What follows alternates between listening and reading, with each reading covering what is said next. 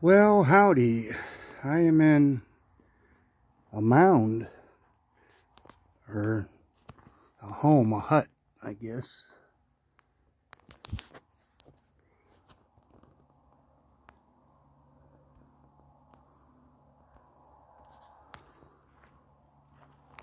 I'm at a historic site called Caddo Mounds. They're burial mounds. This is like a, a home a house, a hut. It's all like bamboo and grass, straw,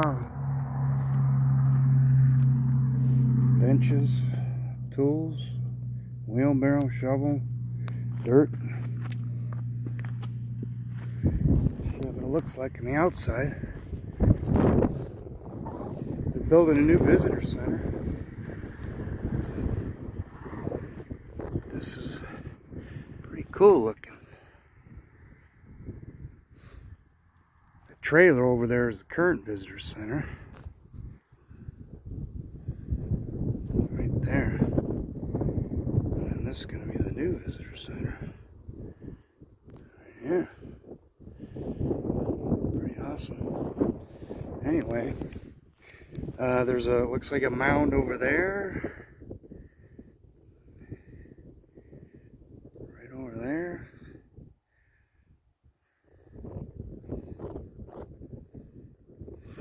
Grassy area.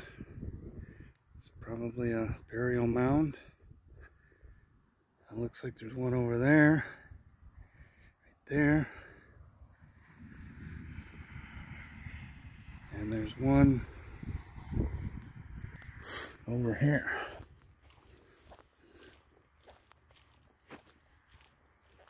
Right there.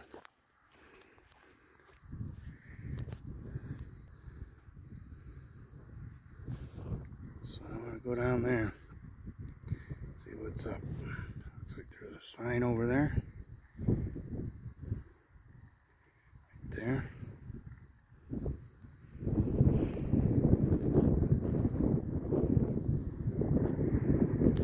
Caddo Mounds